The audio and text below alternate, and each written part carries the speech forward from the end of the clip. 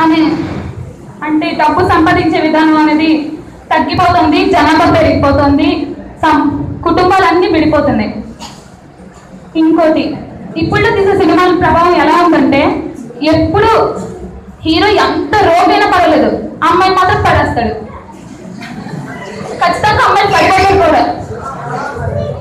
అది అలా చూపిస్తారు అంతే దాని వల్ల ఏంటంటే ఇప్పుడు అమ్మాయి పడిపోతారని అనుకుంటున్నారు. కానీ కరెక్ట్ కాదు.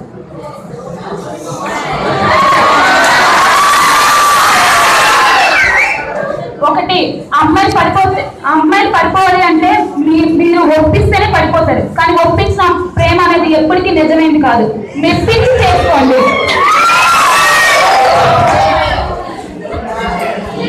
ఇంకా చెప్పాలంటే సినిమాలోని పోలీసులు తక్కువగా గవర్నమెంట్ అనేది ఎందుకు పనికిరాని గవర్నమెంట్ అనే విధంగా చూపిస్తున్నారు. కానీ మన గవర్నమెంట్ అనేది అంత తక్కువది కాదు.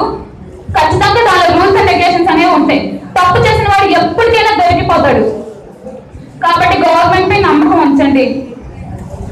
ఇంకోటి పోలీసులు తిట్టడం అలాంటివన్నీ సినిమాల్లోనే జరుగుతాయి. ఎందుకంటే డైరెక్టర్ అనేవాడు చెప్తాడు కాబట్టి ముందు. అవి నిజ జీవితంలో జరగవు.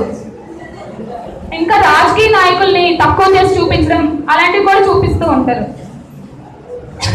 దీనివల్ల అందరూ రాజకీయ నాయకులు అయిపోదామనో లేకపోతే వాళ్ళని కొట్టేసి ఏదైనా చేసేద్దామనో అనుకుంటారు.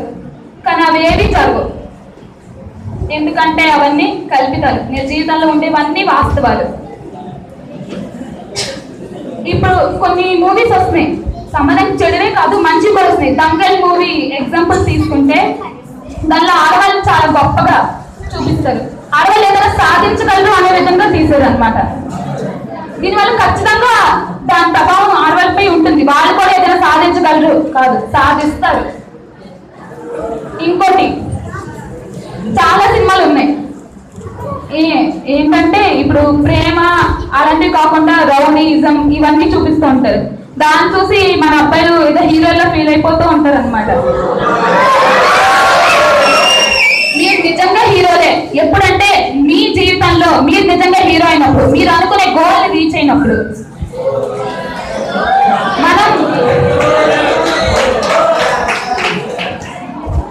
మనం ఎంచుకునే హీరో ఎలా ఉండాలి అంటే మన దేశాన్ని నీ తల్లి నిన్ను పది నెలలు మోస్తుంది కానీ నేను నీ నేల నువ్వు బతికి చనిపోయే వరకు మోస్తుంది.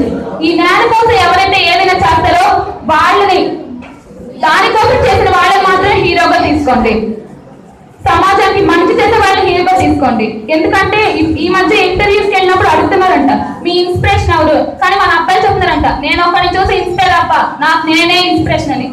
అది ఎప్పటికీ మంచి పద్ధతి కాదు. ఎందుకంటే కొత్తతనం అనేది ఎప్పుడు వస్తుందంటే పాతది ఉన్నప్పుడు మాత్రమే కొత్తతనం అనేది వస్తుంది. మనం ఎంచుకునే ఇన్స్పిరే ఇన్స్పిరేషన్ బట్టి మనం ఎలాంటి వాళ్ళు అనేది క్యాలిక్యులేట్ చేసి మార్క్స్ వేస్తున్నారంట. నెక్స్ట్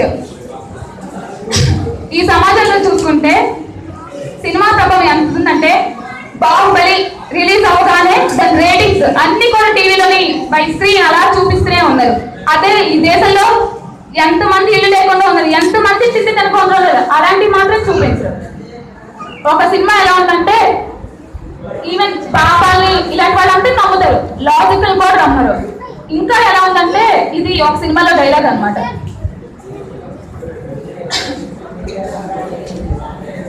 ఇంకా ఇంకా ఒకే ఒకటి చెప్తున్నాను. నా రియల్ లైఫ్ హీరో అయితే అబ్దుల్ కలాం. అందరూ కూడా అలాంటి వాళ్ళని తీసుకోలేదు కాదు. మీకు నచ్చిన దేశ నాయకుల్ని కానీ దేశం కోసం చేసిన ఎవరో ఒకరిని మీ రియల్ హీరోగా తీసుకోండి. ఖచ్చితంగా ఒక గోల్ పెట్టుకొని విజన్ సాధించిన వాళ్ళనే తీసుకోండి. మీరు కూడా సాధిస్తారు తప్పకుండా.